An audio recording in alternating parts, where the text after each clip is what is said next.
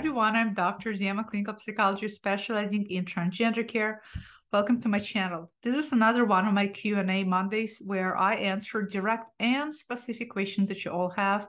So if you do have direct and specific questions that is um, close to your situation and you would like to get feedback on, please comment below in the comment section or feel free to email it directly to me.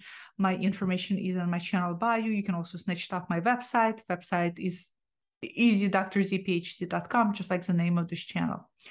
Having said that, uh, keep in mind your questions cannot be diagnostic because I cannot answer diagnostic questions. So they have to be general to be able to generalize to all, but yet obviously very specific to your current situation. So this is a great way to get feedback on specific specific things that have been bothering you. As always, I have blocked out everybody's name for privacy. There is going to be timestamps downstairs. Uh, downstairs uh, down below for all of you to uh, uh, see um, in terms of which subjects you want to uh, jump around with. Um, and also, if I came across your question, you would know that I snatched it into my Q&A folder by letting you know that I will answer it in Q&A. If you posted a question and it's been a while and you haven't gotten a response from me, please repost it. And I apologize if I have not seen it. Having said that, let's get started. So first question for today. Hello, thank you for the latest video about older transgender people who have older parents still living. I did a little short where I talked about uh, if you are older or you are uh, obviously trans adult and you're still living with parents or have parents living with you, whatever situation is, uh, and you can't come out because of that. So this is what this individual refers to. I'm in that category. Unfortunately, I feel like I hit rock bottom and feel like I'm all I, I am about to do something that I truly regret or do something different. Please don't. Let's not be impulsive. I need to transition transition and be happy and comfortable in my own. You absolutely do. Need to be happy. I 100% agree. I'm in my 40s and deserve to be happy. Yes, you do. Please tell me how I should handle my situation.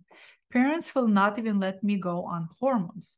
Yes, I live with them because I help them around the home with things.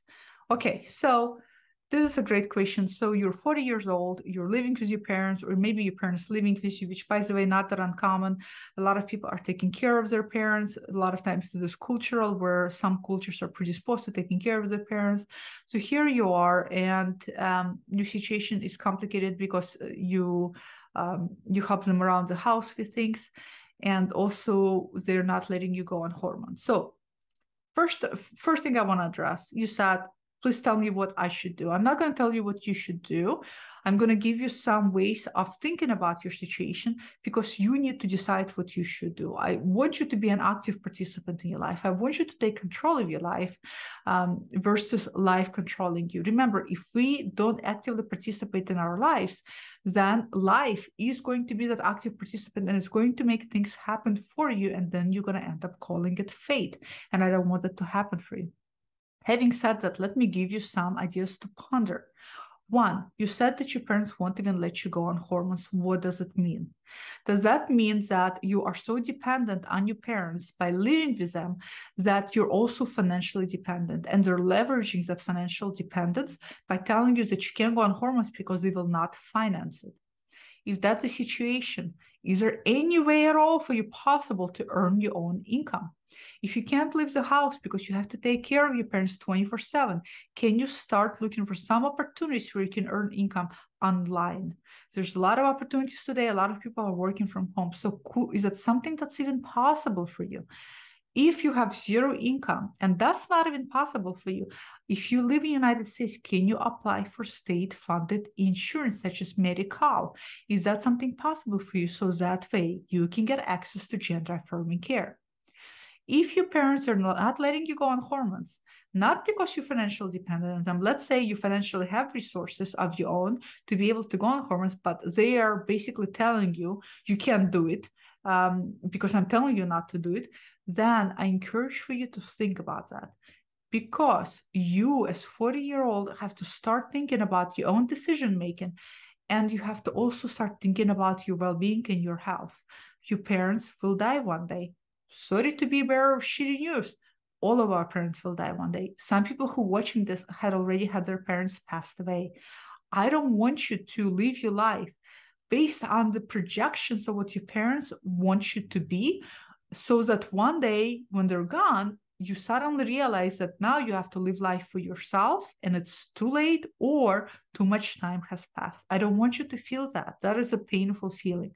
So if you feel like you can't go on hormones because your parents are now telling you not to, I think this is a good time to think about establishing boundaries, asserting yourself, and stepping in your own. Because, like you said, you do deserve to be happy. I 100% agree that you do deserve to be happy.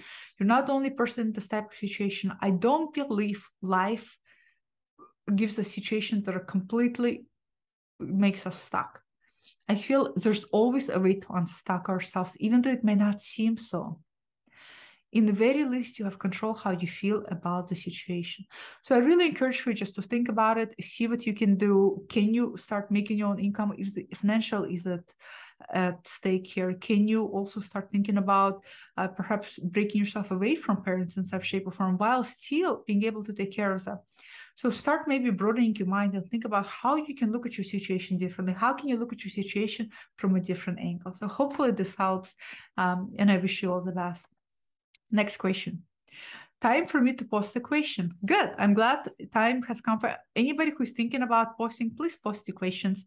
Uh, chances are if you're thinking about something, somebody else can really benefit from hearing me answer your question. Uh, a lot of times when I answer these questions, um, the answers are so relevant to so many other avenues in our lives that it becomes really all around encompassing relevant. So please post your questions.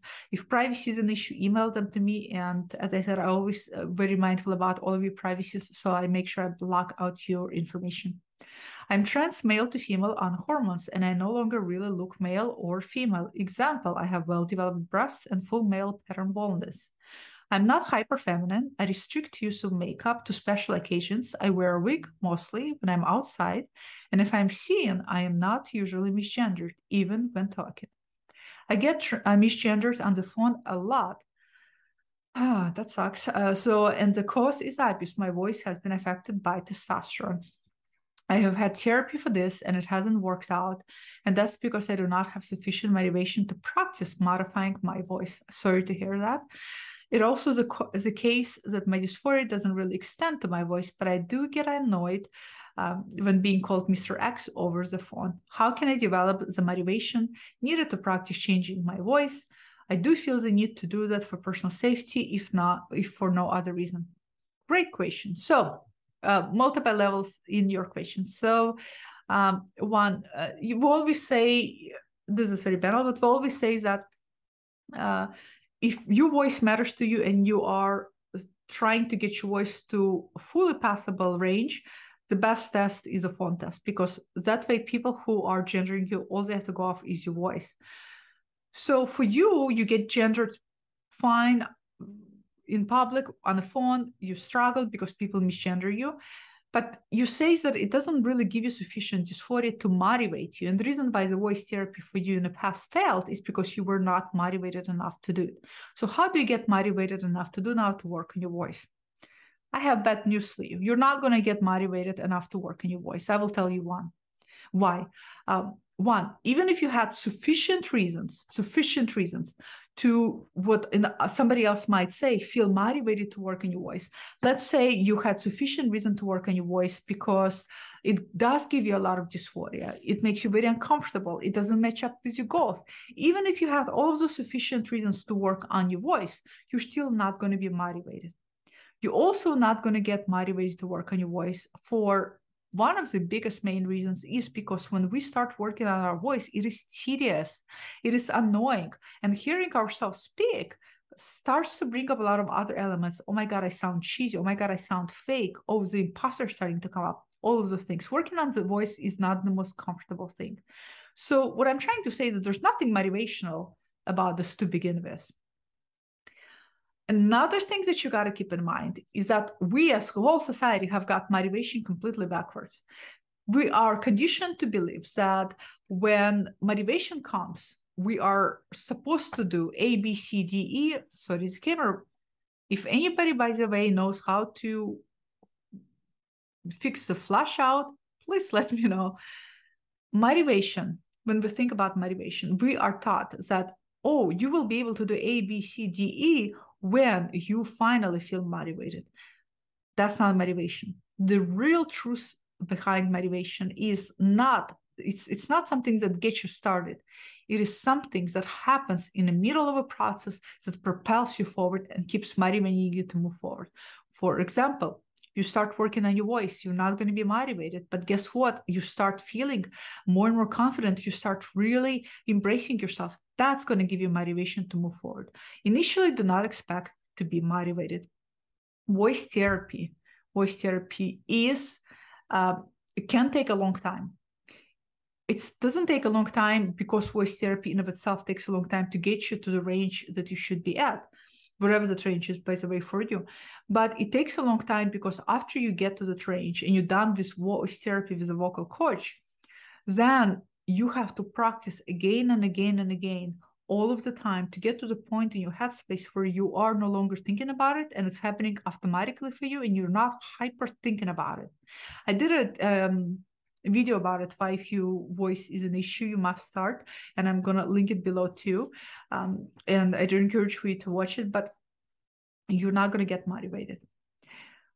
For you it's not giving you enough dysphoria to be bugged by it but you're starting to think that you really should work on it because it's um, if for no other reason like you said for personal reason. I would encourage for you instead of waiting for motivation try to commit to yourself. Make this something that you really commit to yourself. Make it something as a goal. Make it something that you will do for a whole year. Uh, you owe this to yourself. Feel like you owe this to yourself.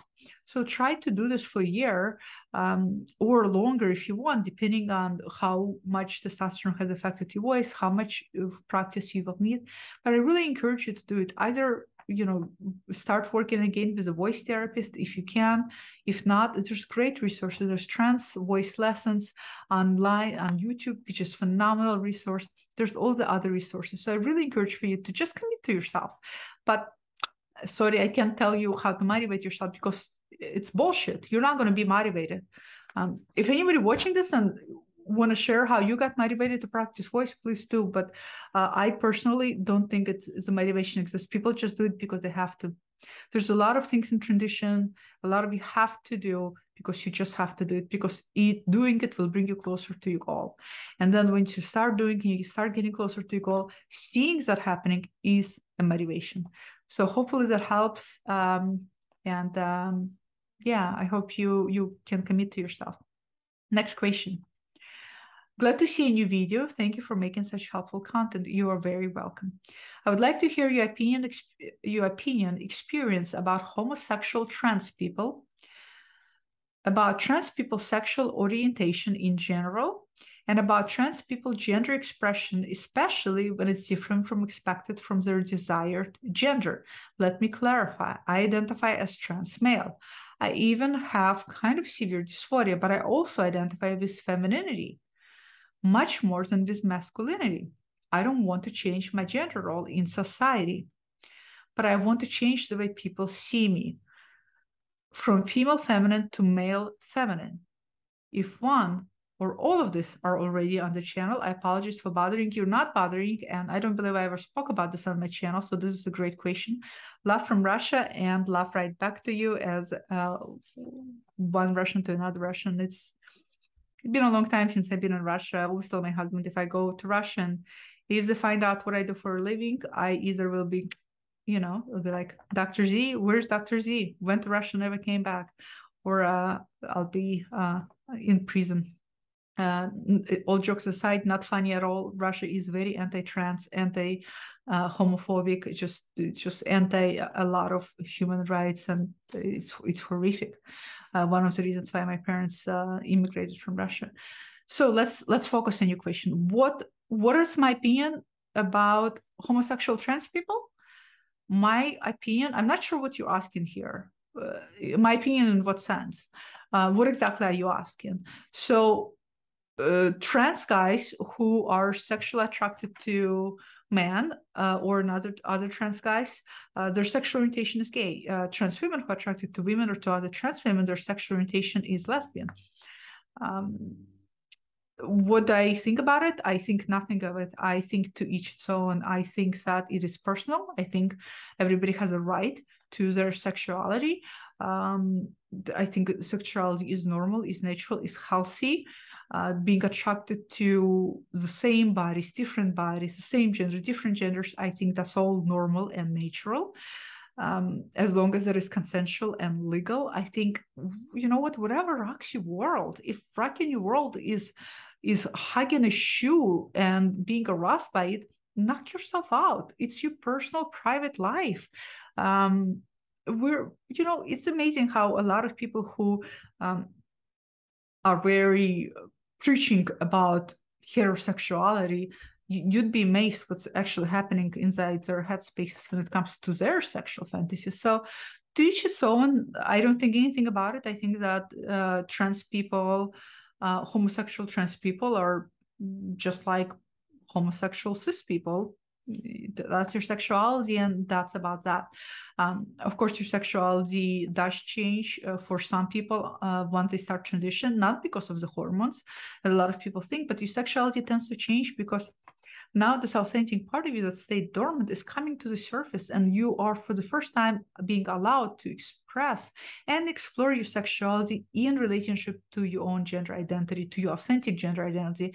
And as a result you may find out that oh wow i'm actually as my authentic self attracted to this or attracted to that and that's also na- natural and normal but to answer your question about gender expression and gender role um, because you say that you want to be seen as, as a man uh, in terms of your gender, but in terms of your essence and in terms of your role, you identify you have carry a lot of feminine qualities. So I look at gender separate from um, from this internal type of qualities. I look at this internal qualities the way Carl Jung, for example, looked at it as divine masculine and divine feminine, uh, has nothing to do with religion, by the way, but this is the quality that every human being, um, uh, every human being uh, pretty much has to a lesser certain degree. Some people have a more balance of feminine and masculine. Some people have a little bit less of a balance. People have a little bit more masculine to feminine ratio. Some people have more feminine to masculine ratio. My husband is example, uh, cis man who is um, the ridiculous amount of feminine uh, qualities. Um, that's normal. That's healthy. Uh, that's who you are. You have to be true and honest to who you are. Your role and your expression does not have to match your gender. Your gender is internal core of how you feel about yourself. Your expression, gender expression, is how you want the world to see you in relationship to your gender or just in relationship to gender or in relationship to yourself how do you want to show up in the world? Your role your gender role is then in terms of stereotypical or just gender roles that feel more connected to you how do you want to express yourself and navigate yourself in the world this is a great question because I kid you not, I had a lot of people struggle with this. I have a lot of people, especially for some reason, I see, well, no, this is not true. I would say it's probably equal across the board. I see trans masculine guys who would feel just the way you do um, do I have to now give up on my feminine qualities? Or sometimes uh, I have uh, trans guys who say that they're very appalled uh, about toxic masculinity and they're afraid to be seen um, within the scope of toxic masculinity. And you don't have to be. Toxic masculinity is completely separate, different thing. Um, you have to not only embody but externalize those qualities in order to even uh, be able to possess those things. I also see this is quite a bit. I also see individuals who were uh, feminists uh, in the past, in the sense of being very heavily involved in the feminist movement and advocacy for feminism. And once they started to transition uh, to uh, trans masculine, uh, started to feel like now it's in a conflict. It's not in a conflict. You can be a feminist as a trans guy, shit, you should be a feminist as a man, period. We all should be feminists because feminist is a great thing. If you're not for equal rights for women, um, then that's kind of problematic for me because um, I think it's it's it's only right for women to have equal rights, uh, just like everybody else should have a right to equal rights. So feminism, I think, should be for everybody. Um, to be honest with you, so don't feel conflicted if you see yourself as a feminine man, be a feminine man. If you see yourself more masculine man, be more masculine man. The most important thing is for you to um, get a hold of who you are and hold on to it without letting society and everybody around you dictate what you ought to be. And that's a difficult thing to do. One, figuring out who you are is in of itself a challenge. Two, once you figure out and you become that person, holding on to that is hard. It's hard. It's like a tree. You have to plant your roots of your ownership to yourself so deep into the ground that no matter what everybody says, they can't sway you. They can't make you flowers. They can't make you fall. You're so rooted into who you are. We all need to be rooted into who we are because there's a lot of voices. I always say there's too many cooks in the kitchen. And you know what? Too many cooks in the kitchen are going to create one shitty meal because everybody has an opinion. So be um, confident in yourself, assert yourself, and a feminine man I think that's wonderful. I think that's great. I think we need more feminine men. We need more people balanced in this life. Um, so find who you are and hold on to it. So that's my answer to you. Hopefully that answers your question. Next question. Hi, Dr. Z. I have a question about changing my name. I changed it already. It's now something similar to what my dead name was, but I'm considering changing it to what my mother would have named me if I had been cisgender. How can I figure out if a new name is a good fit? Any kind of insight will help. So this is a great question, not just for you, but for anybody who is thinking about uh, changing their name, who's thinking about uh, trying on a different name. Um, how do you know if it's a good fit for you? You try it out.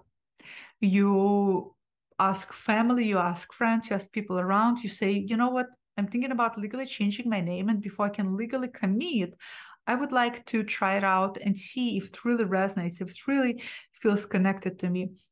And uh, would you please use this name and help me uh, figure this out for myself? I can't imagine anybody saying no. Um, it is just a name after all.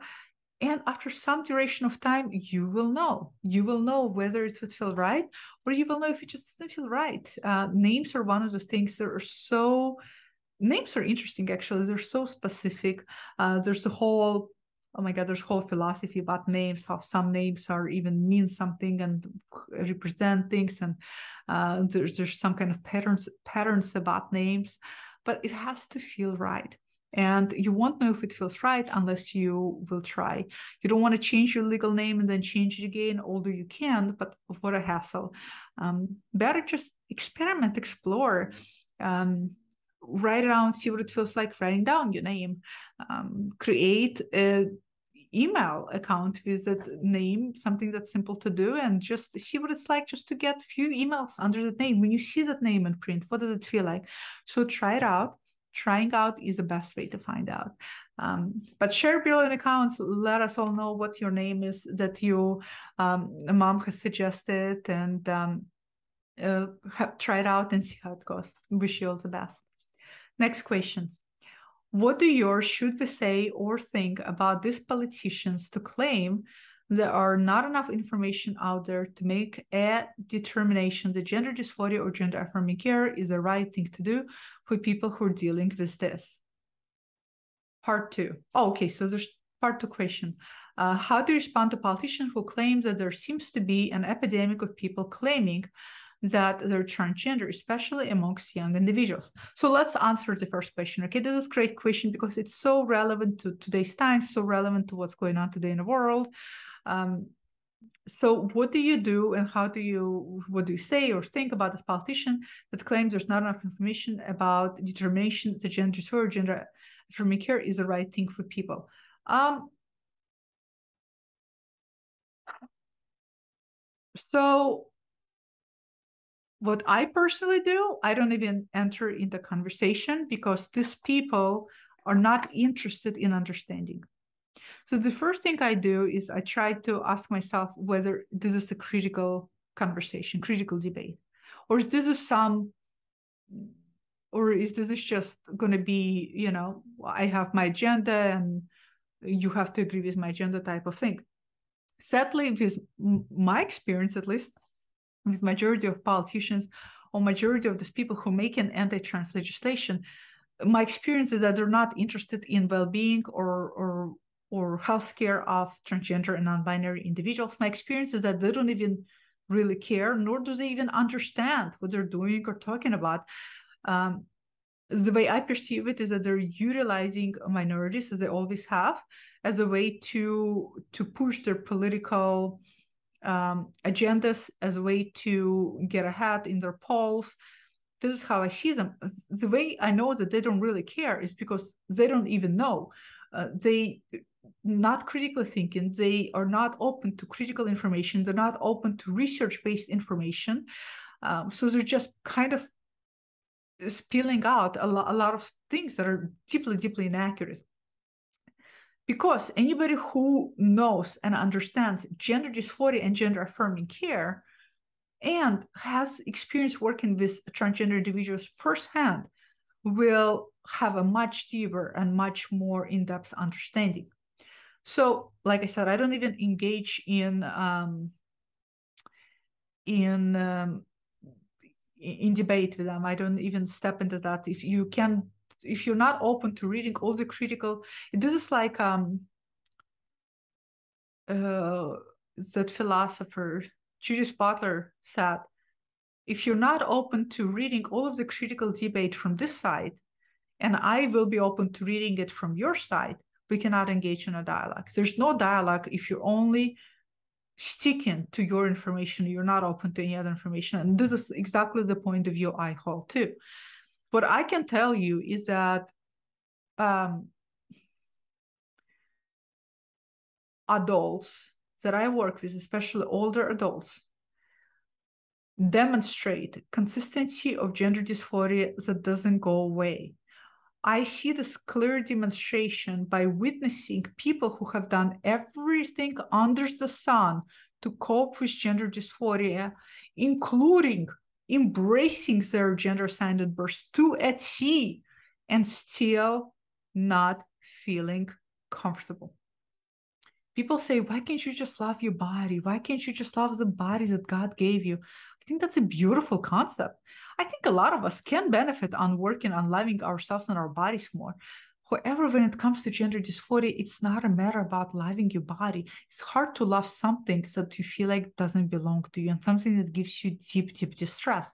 I also know for a fact firsthand from working with clients that once people start taking care of their issues, they start feeling better. Are all of their problems go away? No. Do they still struggle? Yes. But do they feel better? Yes. So this is what I gotta say. And if I were to sit down with politicians, they would have to read what I present and I will have to read what they have to present, but they will have to at least be aware of research and understanding. Now, to part two, how do you respond to politicians who claim that there seems to be an epidemic of people claiming that there's transgender, especially among young individuals? Um, first of all, what I want to say is why is it so difficult for all of us to acknowledge that yeah there could be a huge proportion of individuals who trans? In other words why are we so desperately clinging to heteronormative binary views? Why are we so strongly clinging to um, male female only polarities? Why is it so hard to broaden perspectives that as human beings, as a human species, we're very complex. And we have become domesticated, if you will, um, by conditioning of the society that has stifled or restricted a lot of our variability. You know, it's like have to stand in line. Everybody is, you know, standing in line and perform the same set of things and you condition to it while everything on the inside is screaming to raise your arm up when your arm's supposed to be down. So they can claim all they want. We have to look at the facts. We have to look at the data. We have to look at a broader concept. We have to look at understanding gender dysphoria throughout the history and time and understanding how gender dysphoria is susceptible to changes and shifts depending on the context and understanding that the reason why there's more people are coming out today is not only because they have language as i said in another video but also because more and more people are becoming aware of who they are. And i think that's a great thing for the humanity. Now young adults especially are individuals who are starting to understand themselves. So there's a lot of things going on in terms of identity in terms of autonomy and when we look at the statistics, we have to realize that there is going to be a spike in terms of young adults who are just questioning or exploring their gender, who may still turn out to be cis. And we have to take that into account. And we have to take into account that there's a lot of young adults who are just naturally have predisposition toward trans identity, and that's fine too.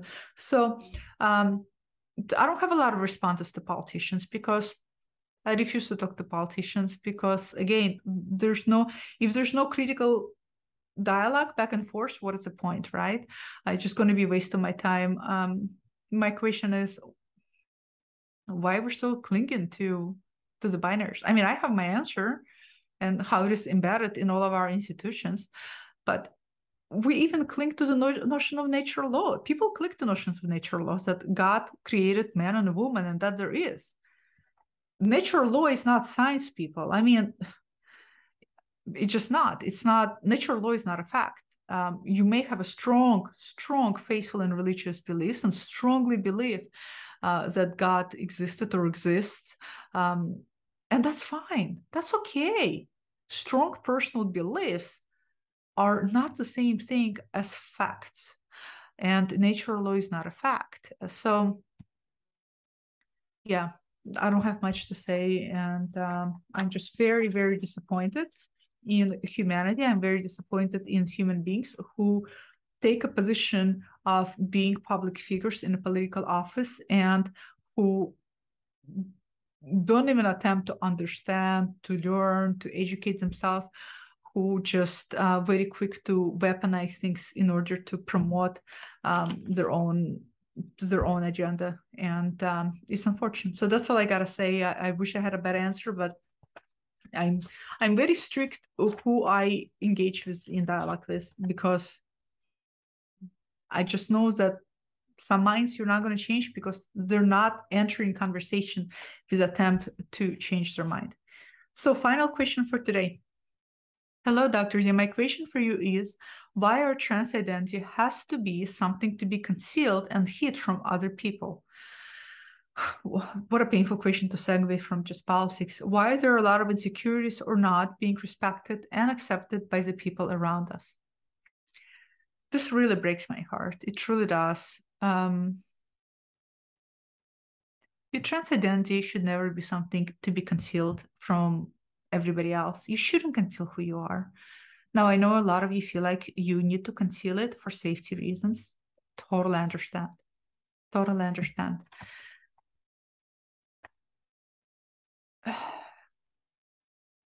It's not insecurities that I think is the problem with people who are not respectful or and it's not even acceptance you know like I said, I really think the world is not that that unaccepting. I think there's a lot of people in the world who just genuinely don't really care. Um, and there's a lot of people who do care deeply about all of you. And then there's a lot of people in the world who really want to um, eliminate your rights. And I don't think they want to eliminate your rights because they're insecure. I think that they want to eliminate your rights because when we as human beings get really small and what i mean by small is when we as human beings get very um when we're not living our lives, when we're not working on ourselves, we're not working on assertiveness toward ourselves, we're not working on uh, bettering ourselves, when we're not working on expanding ourselves as human beings, we become small in a sense of um, not really living our lives. And that leaves a lot of room for bitterness. It leaves a lot of room for anger. It leaves a lot of room for hate. It leaves a lot, a lot of room for a lot of other things. Every single person who commented some negative, hateful things on my channel, and I'm not talking about people who have genuinely uh, questions of trying to understand, but I'm talking about people who are blatantly, clearly hateful just hateful about trans people, hateful about people like me who try to help trans people. Every time I see those comments, I think to myself, what kind of person, just think about it, what kind of person would take time out of their day? And my God, we all have such limited time. Take time out of their day to then go online and look up channels and the content that they already know bothers them, irritates them, annoys them. So not only are they exposing themselves to the material that makes them crawl under their skin, but then they actively take time to go on the channel and have their verbal diarrhea and spill things out. When I think about what type of people would do it, I think about my God, well, it's got to be people who don't really have their life together. Because if you have your life together, you're too busy living your life. I'm sorry, you're too busy living. If there's a lot of things, a lot of content I don't agree with or makes me crawl under my skin. But you know what? I'm t- too busy, to be honest, to give them my two cents and to go on the channel and to comment. Why even bother? You don't like it, pass on.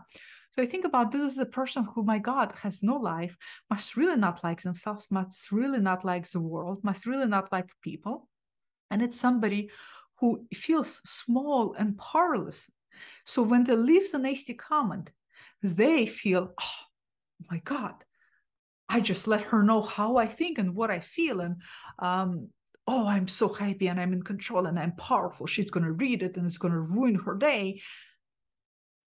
That's sad. That is sad. That is so, so fucking sad. I mean, Jesus, get a life. Get a fucking life. This is the type of people that I, it's not insecurities even.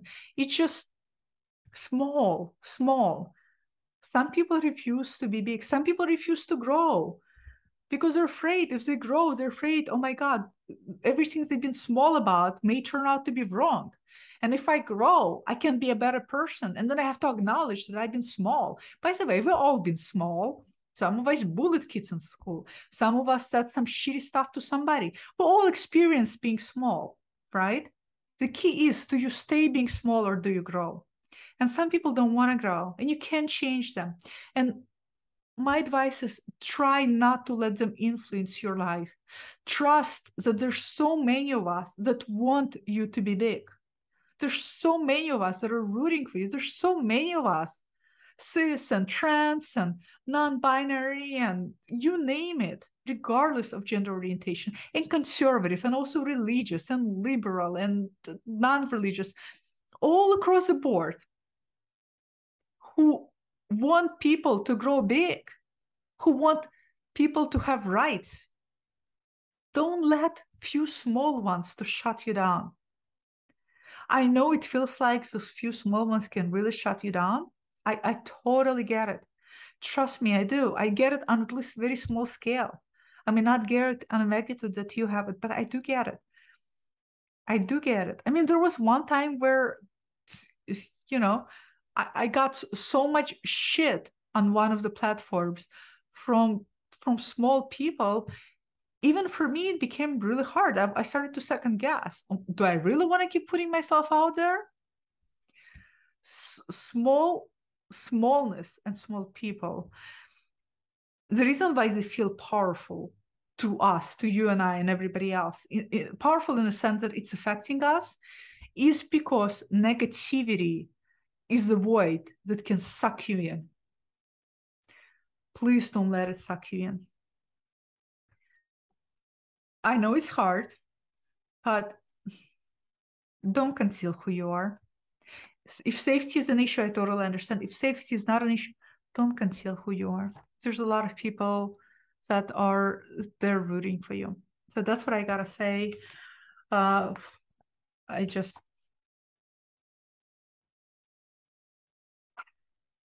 as a psychologist, I still can't fathom some people. I can't fathom so many people's behaviors and and it just um, you know it's so hard to elevate to elevate yourself or to elevate somebody else takes work.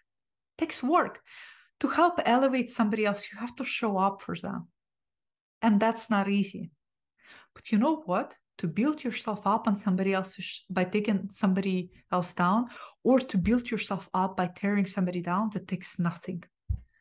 We can all tear somebody down with our words.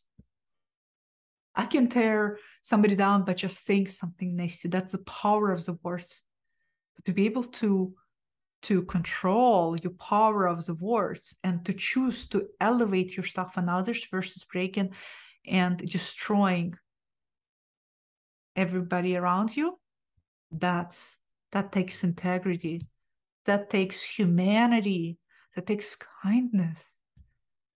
And that's what i choose to believe in. And i choose to believe that the world is full far more with those people who are all about elevating themselves and others than those who are so small that they try to feed off by breaking everybody around them. So kind of um god i just makes me want to cry right now.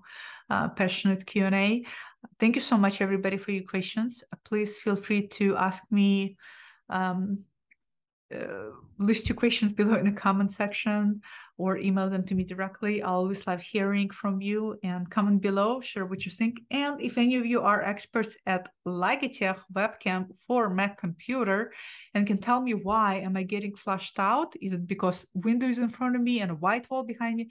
Please let me know because it is driving me ballistics. Thanks for watching and I'll see you all next time. Bye.